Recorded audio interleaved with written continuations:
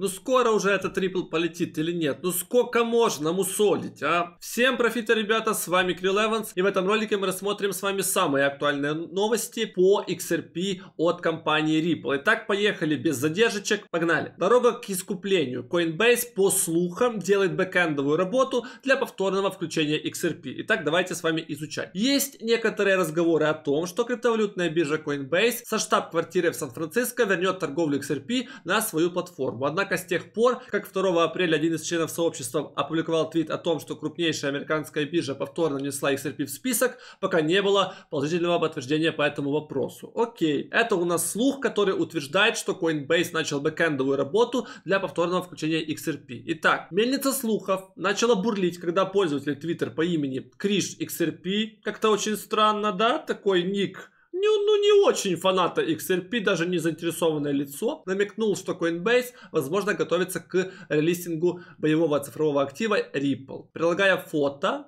которое можно увидеть ниже, Криш XRP отметил, что бэкэнд работа уже ведется. Давайте с вами посмотрим на данный твит. Данный твит выглядит вот так. Это у нас API как бы из Coinbase Pro, вот в котором есть всякие вот эти функции, которые нам могут что-то подсказать, что может быть они делают релиз XRP токена. Э, опять же, ребята, это может быть вброс, потому сильно не реагируйте, но думаю, что это новость. Сколько у него здесь подписчиков? 2000 читателей. Опять же, не очень важная новость, да, но все же, все же, чтобы вы были в курсе. Опять же, вас держу в курсе. Потому поехали смотреть, что же у нас с XRP. Итак, ребята, технически очень круто выглядит, очень круто. Э, все больше и больше поджимаемся с вами кверху, вот, да. И вообще его не отпускают. Э, биткоин немного корректируется у нас, а Ripple прямо зажимает в диапазоне, прям хочет выйти выстрелить. Куда он может выстрелить, ребята? Думаю, что после такого большого накопления в этот раз он должен полететь прямо очень шикарно. Куда он смотрит, ребята, на 1,8, 1,6 доллара. Примерно вот сюда он смотрит. Думаю, что если мы все-таки пробьем данную зону и очень круто ее пролетим,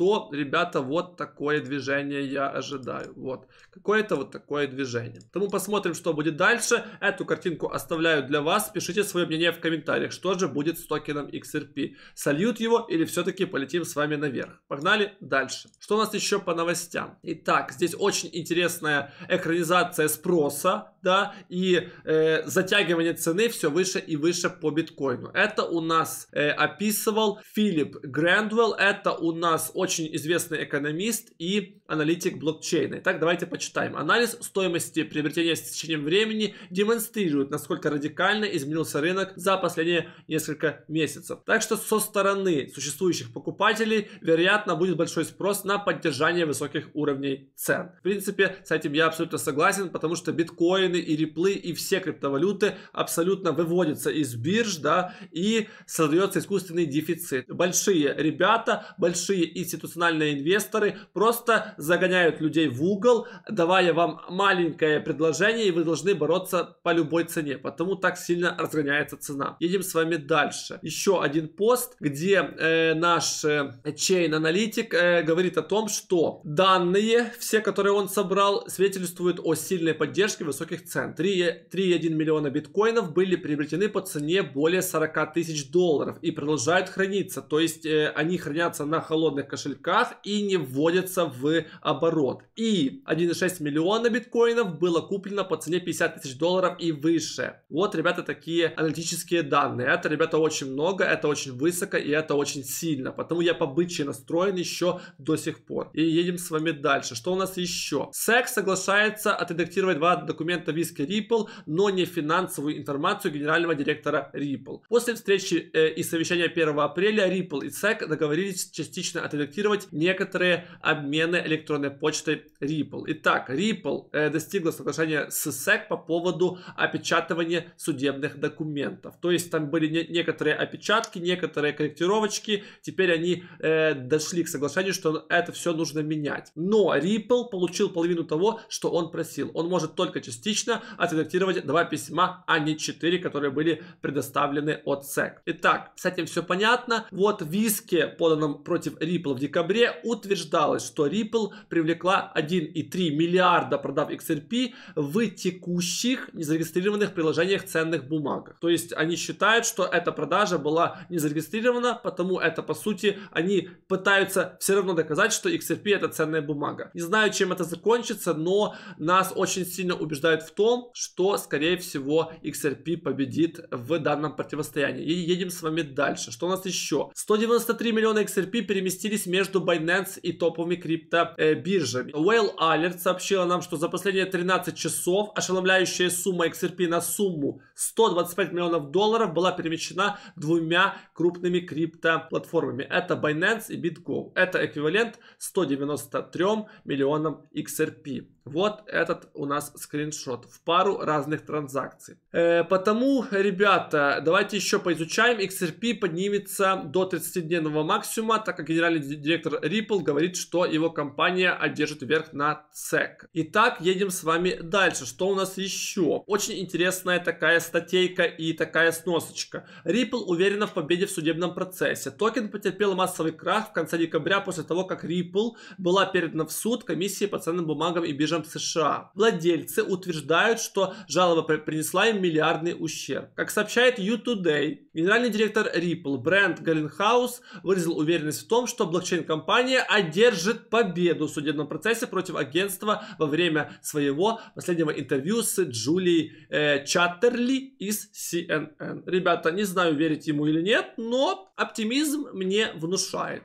Э, и опять же ситуация по технической части по поводу XRP. Давайте с вами дальше смотреть, что у нас есть еще для вас. Биткоин Trust Grayscale торгуется со скидкой уже месяц подряд. Итак, это у нас дисконт к цене биткоина в течение 30 последних дней. Это, ребята, очень интересно. Итак, вкратце. Биткоин Trust Grayscale теперь торгуется со скидкой к чистой стоимости активов в течение 30 дней. В отсутствии американского ETF доверие Grayscale остается единственной ближайшей альтернативой для людей, которые хотят участвовать в торгах с биткоином на фондовом рынке. Вот и все. Около 80% инвестиций в траст, который сейчас э, управляет Grayscale, 38,5 э, миллиард, э, миллиардов долларов, приходится на институциональных инвесторов, сообщил Grayscale в конце третьего квартала прошлого года. Это, ребята, очень огромная сумма. Дисконтированные акции траста предполагают, что институциональные инвесторы спешат продать акции траста, возможно, предпочитая инвестировать в свой биткоин в транспортные средства, которые снижают двухпроцентную плату за управление Grayscale и избегают его жестокого графика выкупа. Вот такие, ребята, дела. 38 миллиардов долларов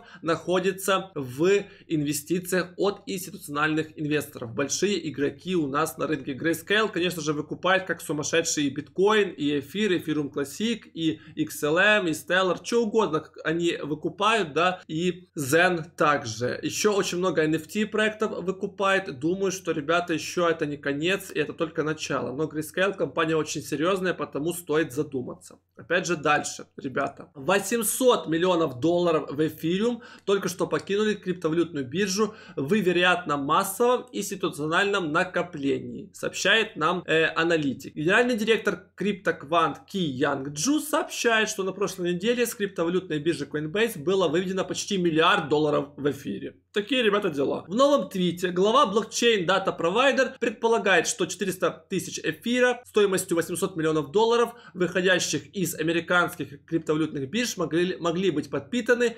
институциональным спросом на вторую по величине криптовалюту по рыночной капитализации. Вот такие, ребята, дела. Огромные цифры, спекулятивные цифры, да, огромные инвесторы заходят в эфир. Опять же, выкупают, потому мы с вами видим такую цену по эфиру. Давайте с вами еще раз посмотрим на эфир. Это, ребята, это all-time high, шикарные цифры, 2000 почти 200 долларов было уже сегодня. Давайте с вами посмотрим. Это была цифра примерно 2140 долларов. Потому, ребята, давим дальше. Э, а вот, ребята, вам плохие новости. Полмиллиарда человек только что получили утечку своих данных в Facebook. Итак, утечка информации включает в себя номера телефонов, идентификатор Facebook, полное имя, местоположение, прошлое местоположение, дату рождения, адрес электронной почты, статус отношений и биографию. По словам аналитика по безопасности, у нас была утечка на полмиллиарда пользователей э, Facebook. И это была спланированная хак хакерская такая атака и слив данных на форуме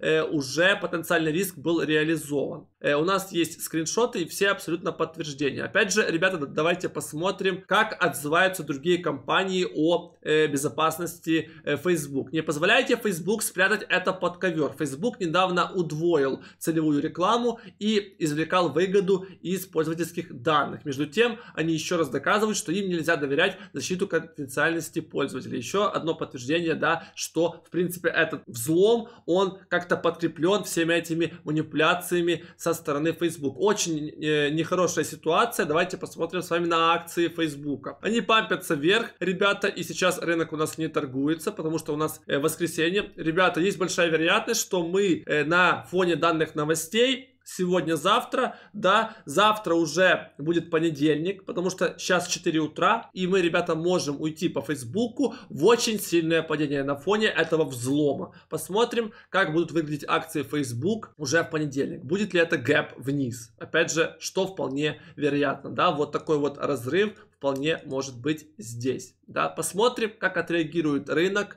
на новостях. Дальше, ребята, что у нас еще? Грядут новые правила биткоина, предупреждает экс-председатель SEC. Хотя биткоин не считается ценной бумагой, это не значит, что он не должен регулироваться, э, предполагает Джей Клейтон. Итак, бывший председатель комиссии по ценным бумагам и биржам США э, Джей Клейтон предположил, что биткоин и другие криптовалюты определенно будут э, более регулируемы в будущем. Я ожидаю, что регулирование придет в эту область как прямо, так и косвенно, сказал он вчера в интервью интервью CNBC. Э, ребята, это вполне должно прийти, потому что э, у нас очень много компаний, очень много компаний уже в биткоине. Это примерно 15-20 крупнейших компаний в мире. Но, ребята, еще очень много компаний, их тысячи, которые не могут войти да, на рынок криптовалют, потому что у нас он нерегулируемый. И они очень сильно боятся, э, и э, биткоин все-таки имеет риски, да, потому рынок должен быть регулируемый,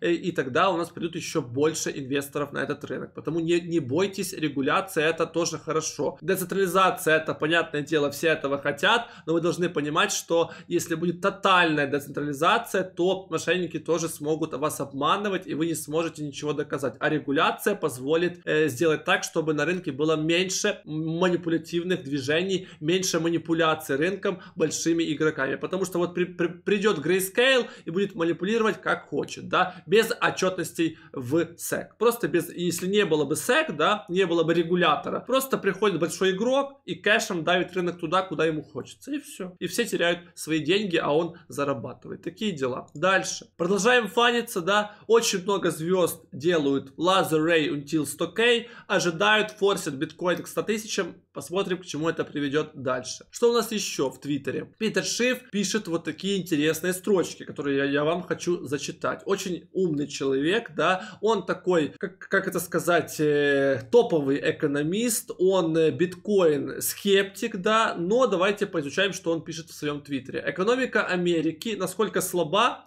настолько слаба, что почти все продукты, которые мы потребляем, должны импортироваться из более сильных экономик, способных производить. Только падение доллара положит конец этому глобальному шопингу. Такие, ребята, дела. Потому будем ждать, что будет дальше. Э, дальше еще один э, очень интересный твит от пользователя в Facebook. Пожалуйста, пожалуйста, кто-нибудь скажите, какого хрена вы купили виртуальную землю. Это все по поводу NFT рынков. Да, у нас вот есть Decentraland, есть куча других NFT проектов, и все люди скупают виртуальную недвижку. И отвечает э, он же себе, по сути, да, что забавно то, что я знаю, что, э, что такое мышление на протяжении всей истории всегда оказывалось ограниченным и слишком ранним. Через 20 лет, когда все перейдут на виртуальную реальность, я буду единственным засранцем, без хорошего участка земли. Мои лошади будут в ярости. Ребята, скорее всего, так и будет. Мы в скором времени, гейм-индустрия растет сумасшедшими параметрами. Думаю, что мы с вами, даже я, я, да, я, все, я все-таки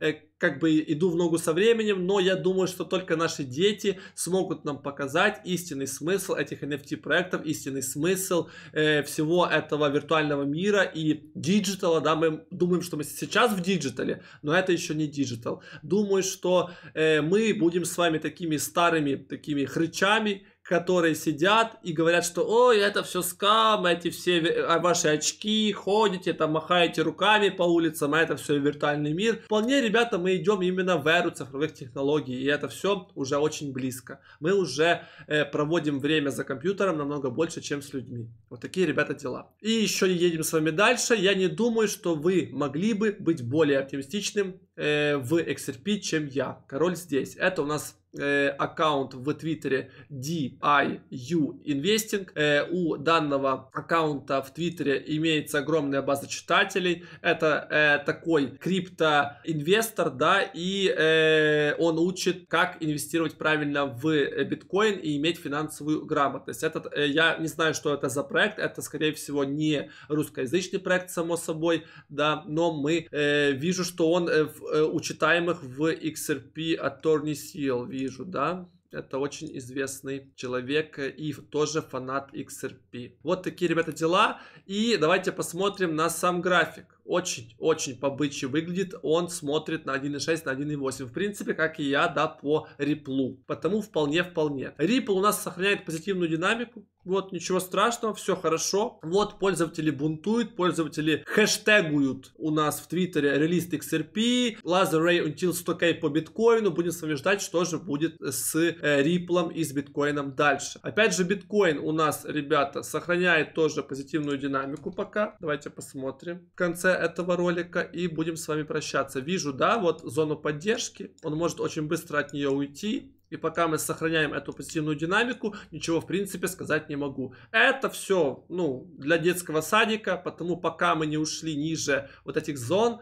для меня все хорошо. Ребята, мы опять же растем с вами, очень крутые мотивирующие комментарии. Кирилл, где-то можно найти акции твоего э, канала и их купить. Э, или есть уже Evans Coin. Я, ребята, бы с радостью, вот, очень большое вам спасибо за, за такие теплые, такие э, ламповые комментарии. Очень люблю это все читать и отмечать для себя. Опять же, пишите комментарии, э, пишите что-то полезное. Да, не только Кирилл, посмотри монетку. Мне очень интересно читать ваши мысли тоже по поводу всех моих роликов и моего контента и моей аналитики. Вам всем огромное спасибо за поддержку. Мы все с вами очень быстро растем. У нас уже почти 80 тысяч подписчиков на канале. К соточке, думаю, прилетим быстрее, чем биткоин 100%. Да, и присоединяйтесь к нам в нашей крипто-комьюнити по ссылкам в описании и только по ссылкам в описании. Опять же, не ведитесь на мошенников, потому что мошенников очень много. Мы здесь обучаемся одним сплоченным коллективом, как работать э, в тематике криптовалют и как работать с теханализом в целом. Потому, пожалуйста, ждем вас в нашем крипто-комьюнити. Опять же, покупайте кошельки Trezor через э, наше сообщество и э, возвращайте 15% от стоимости в резерв комьюнити для розыгрышей и для поддержания на развитие комьюнити. Опять же, эти деньги, вырученные с продаж, я использую для розыгрышей между участниками участниками нашего YouTube канала, между подписчиками, которые не могут себе позволить купить э, данный кошелек. Такие, ребята, дела. Это холодный кошелек от компании Trezor. Официально здесь все. Буду заканчивать. Всем огромное спасибо за просмотр. Всем огромное спасибо за поддержку. Вас всех люблю. Всех обнял, приподнял, поставил. Ripple полетел, биткоин полетел. Все полетели на позитиве э, в бычьем рынке двигаемся с вами дальше. Опять же, не с хомячими глазами, а с думанием и слежением за рынком. Не, не тотальным, да, а приходим, каждый день чекаем, каждый день работаем с графиками, обучаемся, смотрим на,